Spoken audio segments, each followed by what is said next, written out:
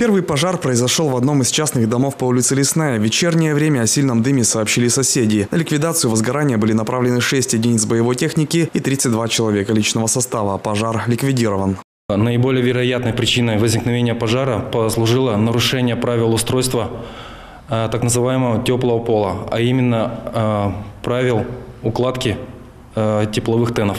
По всей вероятности, строители допустили грубые ошибки при монтаже теплого пола. В результате пожара полностью сгорело деревянное напольное покрытие на первом этаже, мебель и бытовая техника. Закоптились стены. Причиненный ущерб составил несколько миллионов рублей. Считают убытки и владельцы домиков в садах завода «Урал». Огонь практически полностью уничтожил строение. Версия одна. В связи с тем, что в садовом товариществе электричество отсутствовало, э, в садовом домике печь также отсутствовала, и с учетом этого был сделан вывод о том, что причиной пожара послужил умышленный поджог. Очевидцы рассказывают о мужчине, который во время пожара стоял вблизи садового домика. Материалы сейчас переданы в полицию.